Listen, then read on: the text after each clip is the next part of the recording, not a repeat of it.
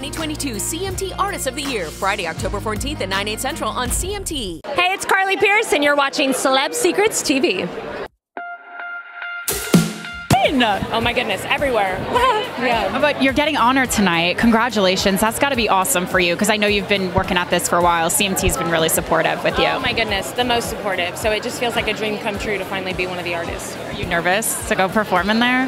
No, I'm more excited. This feels like a night of not as much pressure, just like being able to soak it all in. And see all your friends too. Yes, it's going to be really good. This has been a crazy year for you. I know you've been releasing music. You got the music video that just came out. Um, recap, what's been like a memorable moment for you this year?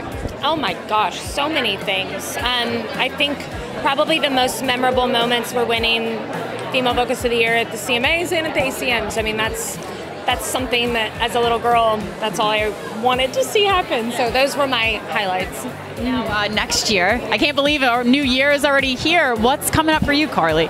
I'm working on new music, so that'll be happening. I'm going to be out on the road with Blake Shelton, which is so exciting.